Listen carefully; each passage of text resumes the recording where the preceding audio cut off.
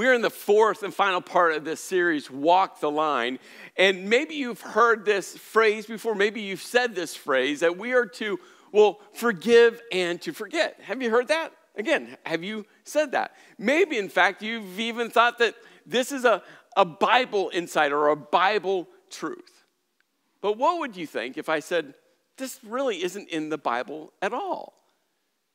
And maybe you're thinking to yourself, well, Chris, I've read verses in the Bible that actually says, forget your sins. Like uh, uh the psalmist writes that God throws our sins as far as the east is from the west. Or God specifically, through the prophet Jeremiah, said these words I will forgive their wickedness and will remember their sins no more. Right? That, that sounds like forgive and forget. But here's the thing when you study the Bible, you have to take well, the entirety of the Bible to start to paint the picture of what it has to say. Because what we also know in the Bible is God is all knowing. The big word is that God is omniscient. And now you have to look at 1 John 3 that says God knows it all, or the Hebrew author in Hebrews chapter 4 that everything is laid bare in front of God. Like God is omniscient, He is all knowing. So if God is all knowing, can He really forget? And the answer is no. So then what do you do with these words like you find in Jeremiah? Well, to understand the word remember, you have to go to what the Hebrew word for remember is. And the Hebrew word for remember is this word zakar. Now, that's not how you say it in Hebrew. That's just my Americanized version of it. It's just easier to say zakar than, well, with the Hebrew accent. And this word zakar, yes, it does mean remember, does, but it doesn't mean remember like I forgot and now I remember. What it means is to recall. Uh, put it this way I know my anniversary is November 22nd, but throughout the year, I'm just not thinking about it every day. I'm just not. Usually, my wife and I make our way to November. We'll look at each other at some point in November and we'll say to each other, Hey, our anniversary is coming up. And then the next part of the conversation is what day is it? Is it the 21st or the 22nd? Because we always get that confused. We'll both land on the 22nd, and we're like, oh, okay, it's on the 22nd. You know, it's this many days away, right? This is the idea of Zakar. Like we're recalling. It's not that I forgot that I'm married to her. No, it's just like we're recalling that information. It's not information we think about every day, but we will. And this is what God is getting at is that, that when it comes to our sins, he chooses not to keep them in the front of his mind, which goes back to the psalmist, throws them as far as the east is from the, from the west. God chooses not to, every time he thinks of us, stare at our sin. Every time God whispers to us, he's not reminding us of our sin, that he has forgiven, he's chosen to remove that from the front of his mind. And you see, this is powerful, especially with our understanding of what it means to forgive. We're choosing to hand it to God, saying, God, it's out of my hands. I'm handing you this as I forgive this person. But guess what? We still remember. We don't forget that pain. Like that pain lingers for some time. I can remember fourth grade uh, recess on the merry-go-round and what Benji said to me. I haven't forgotten it. I've forgiven him. I haven't forgotten it. You know, we think about forgiveness and we have to understand you can forgive and still have to deal with the pain, the real pain that might last for a length of time. You can forgive and still not trust. Why? Because trust is earned over a period of time. You can forgive and still set, well, healthy boundaries, is what we're going to look at today. Right? Wise boundaries that helps protect you and those connected to you. You should forgive, but not necessarily forget. Now, as we make our way through today, here's what I hope you feel encouraged by. All of us have things that we're learning and growing from, things in our past that we wish we would have handled different or something would have uh, done different to us, like we just kind of glance back. But as we make our way through today, my encouragement for you is don't let your past define you, but allow it to refine you. This, this is about us growing together, being stretched together, gaining some new insights that we can apply to our pathway as we move forward. And there's something powerful about the refining process that God wants to do in us and through us, and through us with each other, because God uses us to help refine each other. But don't get stuck in the cycle where you allow the past hurt, the past pain, to just define your whole existence now and forevermore.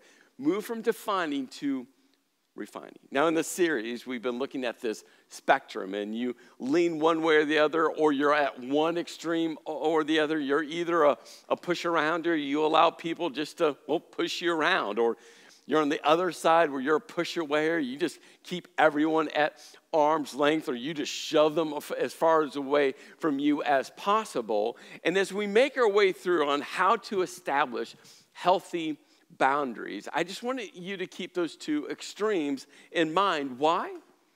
Because it's going to influence the type of boundaries that you set for well, yourself and for those around you. You see, either your boundaries are what I call porous boundaries. They're porous, especially when you're a push arounder.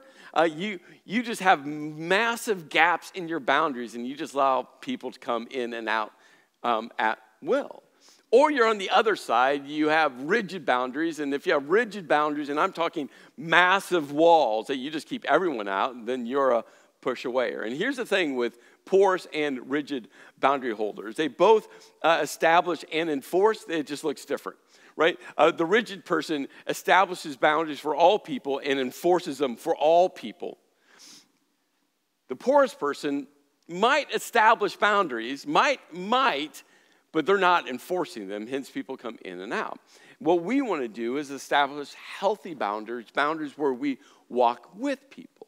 Now, I got asked such an incredible question, and I love this visual. The question was this uh, when, we, when we draw boundaries, should we use a Sharpie marker, meaning permanent marker, marker, or should we use a dry erase marker? I love the image and I love the question.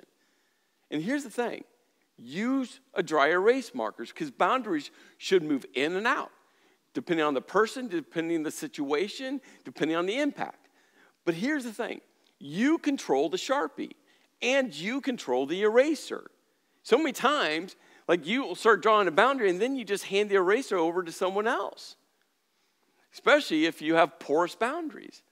If you have rigid boundaries, I mean, you're just using a Sharpie. In fact, you probably have a, a five gallon uh, bucket of paint and you're painting as many lines as you can that's never going to be removed. Use a dry erase marker, but you hold the marker and you hold the erase, eraser. You control the boundaries. Now, as we make our way through today, uh, there's two things I just want you to be processing. There's going to be a lot of insight, a lot of information. Hopefully, it's super helpful to you. But two things I want you to keep in the front of your mind. One is I just want you to recognize where do you lean? We all lean either to the porous or to the rigid. We, just lean out. Which way do you lean? Just recognize it. Just recognize it. Call it out within yourself. Part of this is your personality. Part of this is how you're raised. Part of this is about how other people has impacted you. There's a whole lot of factors. But just recognize which way you lean, or maybe you're at one extreme or the other. And we'll identify, which is the second part, identify what steps, one or two. You might have a list coming out today. Just highlight one or two steps that you can identify to start moving towards having healthy walk with types of boundaries. Now, hear me when I say this. Everything I'm going to share with you is easier said than lived. I'm just telling you, it's going to be really easy, and there's going to be insights that are going to sound so super simple, but then you have to live them out. And that's where it becomes difficult. But the only way, the only way where you move from the extremes towards healthy boundaries is you got to commit to the journey, to making some hard decisions, to living into in, in some uh, discomfort, to move towards healthy boundaries. That's going to help not only you but every every relationship you have. We're going to look at four very specific boundaries. There's more than this, but just want to highlight four, and they all kind of work together. The f- first uh, boundary is this it's trust. John Maxwell, a prolific author on leadership, wrote this simple phrase years and years ago that trust is a foundation of all leadership. And I just expand it because leadership is influence, it has everything to do with relationships. And so I just expanded to trust is the foundation of all relationships. It's just all relationships is, is built upon trust. If you don't have trust, you, you, you don't have a relationship. And so many times we give away trust based off of the person's category, meaning parent is a category, coach, teacher, boss, pastor, right? These are all categories. And it's so easy to uh, uh, give away trust depending on what category the person is in. And I would caution you to say, yeah, you, you should be able to do that to a degree. But just because a person's in a category doesn't mean you should give them trust. Why? Because trust is earned. And so many times when it comes to trust, and especially as we think about the extremes of, well, where we lean. The, the porous person with their boundaries is going to be overly trusting. You're just going to give uh, trust away. The person with rigid boundaries, well, you're just going to be very untrusting to all people. Our goal is to, well, understand that trust should, must take time. And you start to give away small pieces of trust, and over time, you give away more and more and more. And that's really healthy. It's a very healthy boundary. Why? Because trust is earned. Another way to say is this trust is built over months and months and months, but can be obliterated in a moment.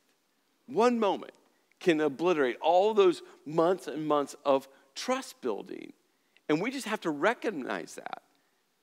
Again, as we move to healthy boundaries, as we look at the different relationships around us, that trust is given but also, this is why dry erase marker is so important, is also can be taken away.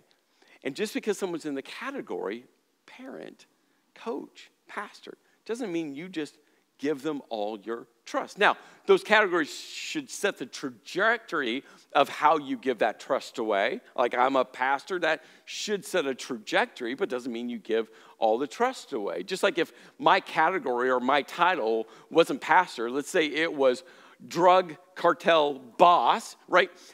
I'm sure that category will have less trust attached to it, right? So it should set the trajectory, but you just don't give it away. And so many times when we talk about trust, we limit it to, well, just lying. Like if you lie to me, right? And lying is part of trust. But there's other components of trust. And there's, there's three I just want to share with you.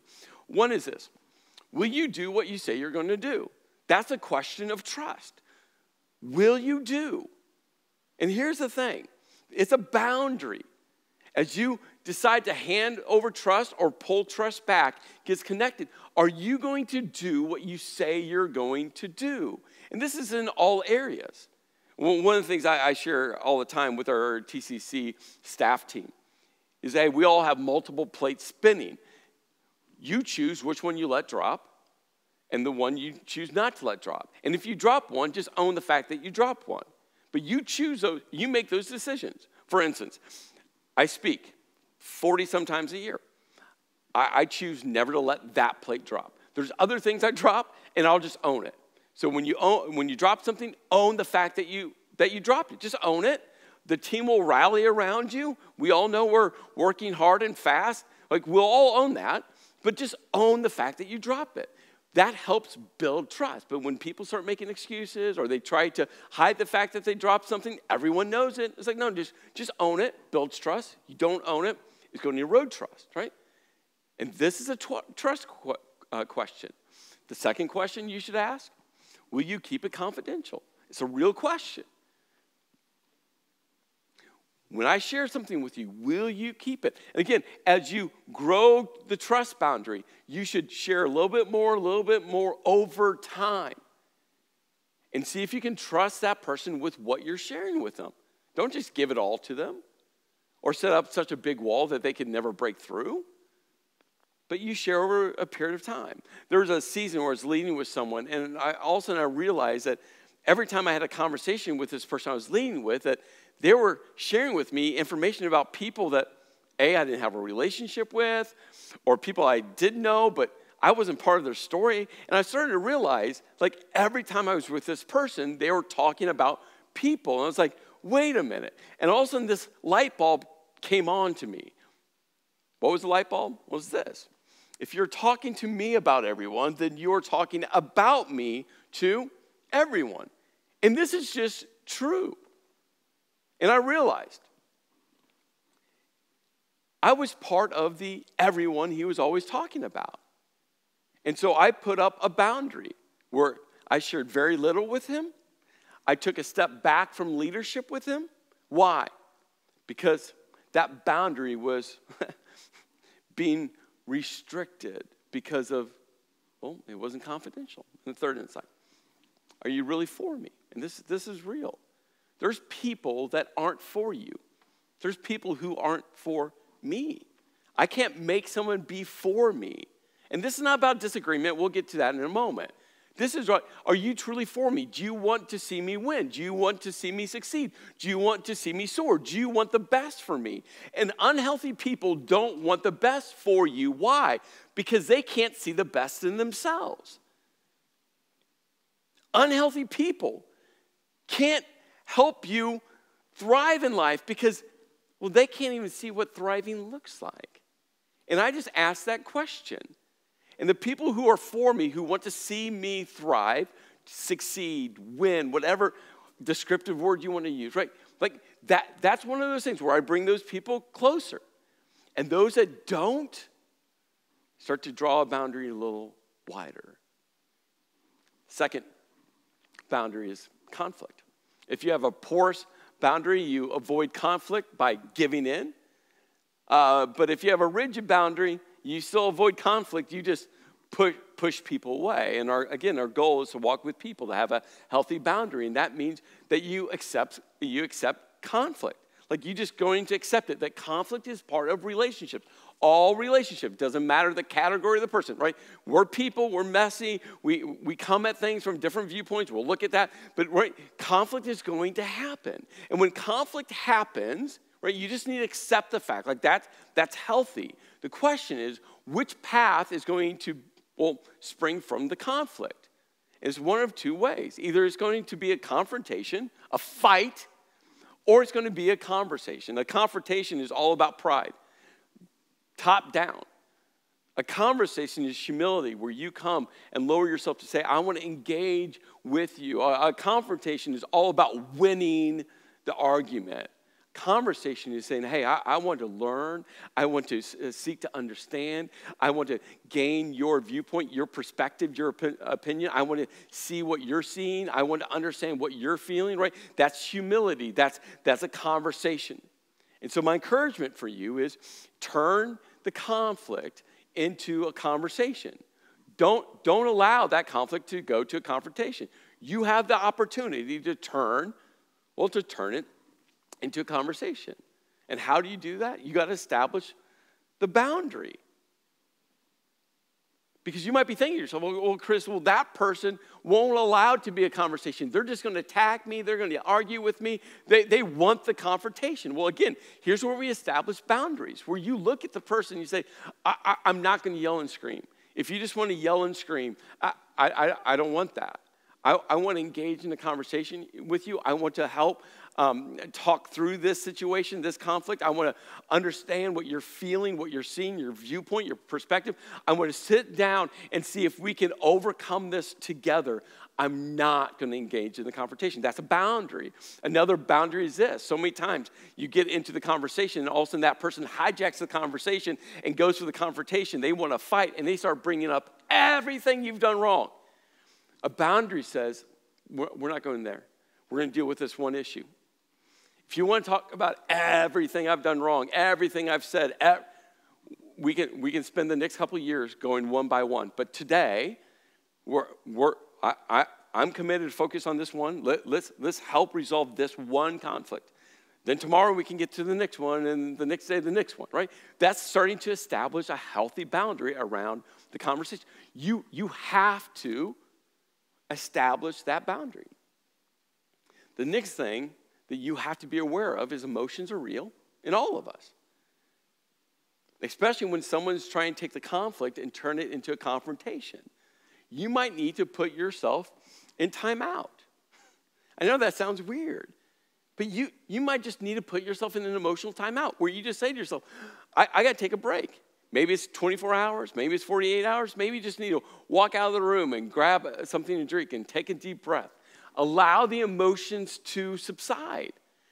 Because when emotions hijack, I'm just telling you, you will quickly go from the conversation to a confrontation. Once you're there, the fight erupts, things are said that you, you don't mean to say or you, you do mean to say or in a way that you shouldn't say it right. Things just go redline. So maybe, just maybe, you just need to put yourself, again, you can't, you're not responsible for how that other person responds. What you're responsible for is how you respond, and you're responsible for your emotions.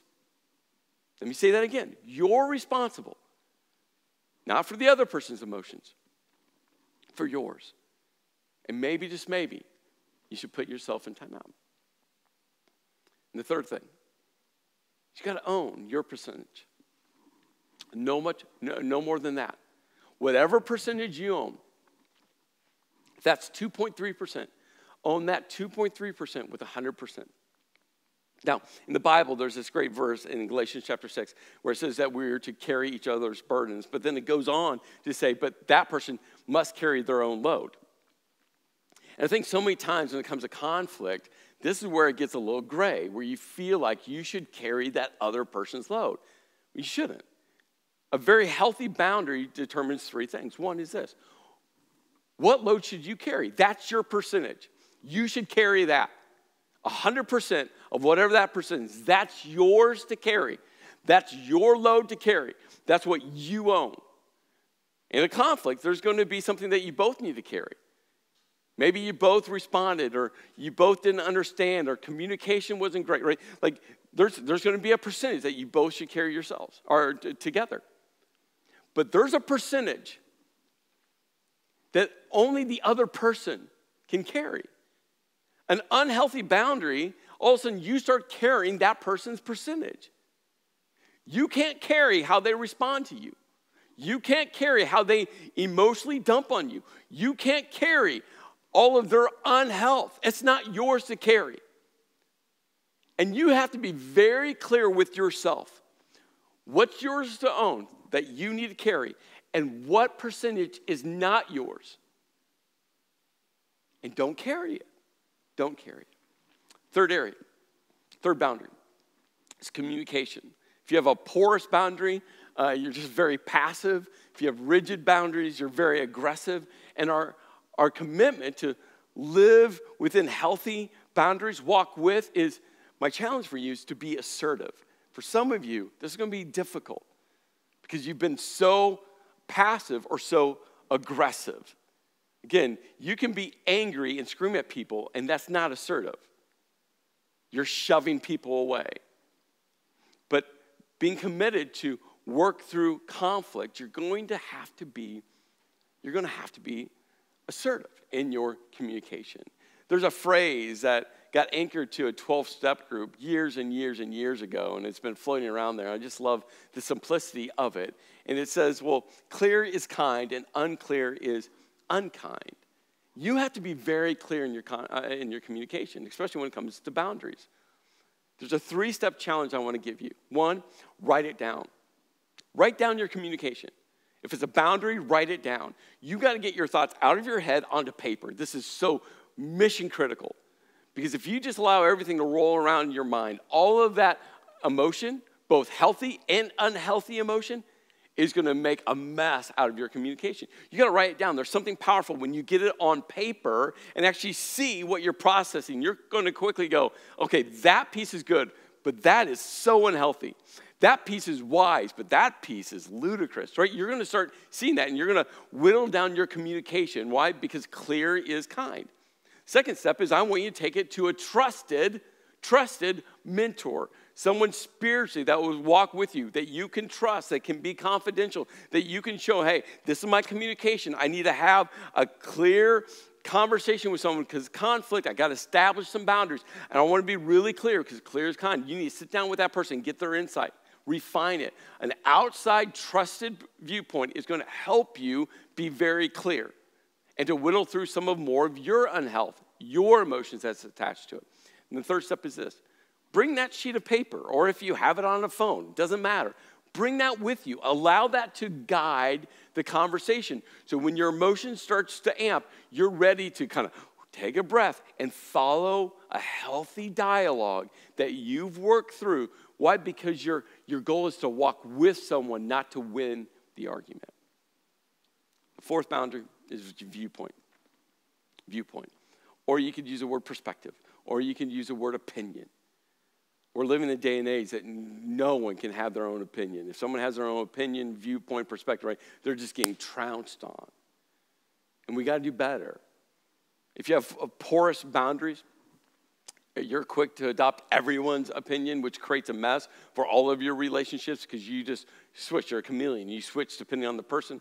If you have rigid, you're just quick to attack the other person's opinion, viewpoint, perspective, right? You're just ready to launch on them. And our goal with healthy walk with uh, relationships is well, you got to value both. You can value your viewpoint and the other person's viewpoint. You can value your perspective and their perspective. You can value your opinion and their opinion. And this is powerful. And we, we, we got to do better with this across the board. It's okay to have varying viewpoints, it's okay to have different perspectives. It's okay. And that's why we need to seek to understand. We just got to seek to understand. Try to understand why that person feels like they do. Try to understand why that person is saying what they're saying. Try to understand what perspective they're coming from and how they lens and how they view. Right? That's seeking to understand, is asking guiding questions and actually wanting to listen, not to marginalize or minimize their viewpoint actually trying to grasp how they're processing. And so many things, it, it's, there's so many times, it's things that are attached way to the past and now getting all uh, weaved into the current conflict. And you're trying to unwire all of that in the conversation with them and within you. You got to seek to understand. And guess what? It's okay to agree to disagree. It's something I say all the time. I want a leadership team around me that will disagree with me. I do. I value disagreement. Why? Because that means there's a different perspective, a different viewpoint that I, I should listen to. Some of the best ideas, some of the best material, some of the best leadership decisions have come with people who had a different viewpoint that disagreed with my viewpoint. But together we got to the right viewpoint. It's powerful. But again, we live in this day and age where we try to make someone agree with us, and we should celebrate people that don't in healthy communication. When you value each other's viewpoint, disagreement is such a powerful, powerful moment. Now, there's a two word response that either you say out loud or sometimes you don't say out loud that's been really powerful to well, create a boundary because sometimes people are just going to jam their viewpoint down your throat, my throat, or just try to make you agree with them. And this two word response, again, whether you just say it in your mind or out loud, is well, to you, to you. Okay, I understand your viewpoint. That's to you. It doesn't have to be me. I understand what you are saying to you, not me. And I tell you, I use this all the time, usually not out loud, sometimes out loud. But I'll just say, well, that's to you. It doesn't have to be for me. It's okay if I don't hold on to that same opinion, perspective, viewpoint. We can spend so much time here. But I just want to end this, this moment with what I call simple rapid fire. And there's a whole list of things that maybe will help you. One is this no. You got to strengthen your no. No is a great boundary. Time boundary, no. I, I learned this lesson years ago. I felt like if I said no to someone, that I would have to qualify why I'm saying no. And all of a sudden, someone looked at me and said, you, you don't owe anyone why you're saying no. You just need to say no. Whether it's a time thing, a schedule thing, a commitment thing, you just need to say no. You don't have to qualify for them why or why not you're saying no. I mean, you just, you just say no. For, for many of us, we got to strengthen our no muscle. The, the second insight never is vastly different than not now. Never is Sharpie. Never is like, I, I'm just going to draw these rigid boundaries and never going to move them. I just encourage you, start saying not now because time can heal. Time will allow people to grow and work through their unhealth and work to establish what they need to do in their boundaries and what you need to do. If, when we say never, right, we're just throwing up massive walls. So just start shifting from never to, well, not now. Third insight You got to set limits on bad behavior. Just don't allow it. I mean, that's the conflict into a conversation. If someone wants to have a conversation, they say to you they want to have a conversation, you get into that conversation and you realize all they want is a confrontation, that, this is bad behavior. You don't have to sit around bad behavior. Again, with love, with humility, you can look at the person and say, I'm not going there. I will always be open to a conversation, but I'm not, I'm not to fight. I'm not to do it. I'm not going to red line into this, this what you call a conversation, which really is a conver- uh, confrontation, right? Set limits. Set limits on trust. Set limits on conflict. Just start to set those limits on bad behavior. Be clear because clear is kind. The issue is usually not the issue. You got to understand that. When someone's unhealth is coming uh, screaming at you and it feels like it's you, you just got to pause and realize the issue is not the issue. There's always something much deeper within that person, just like there's something much deeper within us that's driving up that unhealth. And for you just to pause and say, okay, maybe, you know, maybe, maybe it's not me. And usually it's not something within them. And you got to remember, you can only fix you. You can't fix the other person. You can't make the other person be healthy. You can't make the person uh, uh operate within healthy boundaries. You can't make the person walk with you. All, all you can do is fix you. I just want to leave you with a few words of encouragement because Peter, I think, sums this all up in such a beautiful way. He says, Finally, all of you, and you're an all, and I'm an all. He goes, Be like minded. That means strive for unity, that Jesus unifies us. It's not about being robots, but when we love and live and lead like Jesus, when Jesus is the North Star, when Jesus is the one guiding us, right? That, that brings us together to be like minded, that we're pursuing, living, loving, leading like Jesus. He goes, Be sympathetic. I mean, this is just, I, I choose to try to understand your viewpoint, your perspective. I choose to understand that, that maybe something deeper is going on within you, deeper hurt that's coming out at me, and it's at me, but I'm going to choose to be sympathetic to go, but what are you going through? Like, that's the spirit of humility to go, okay, I'm to lower myself and engage with you because I want to help walk with you. Again, healthy boundaries, but I'm going to choose because I know that there's some hurt there that's coming at me, just like there's hurt within me coming at you. He goes, Love one another. We started there, part one, right? Love is everything. The more we grasp God's love for us and be compassionate, compassion, and humble. And then he goes, Do not, do not repay evil with evil or insult with insult. On the contrary, repay evil with blessing. This idea of blessing is to speak life, speak truth, Speak blessing, speak encouragement over people. Our words are so powerful, and we choose. You get to choose what you say and what you choose not to say to someone. You do. No, you can't blame anyone else for the words you choose to say and the words you choose not to say. You can't blame someone for saying, well, they made me. Nope, no one made you. You chose.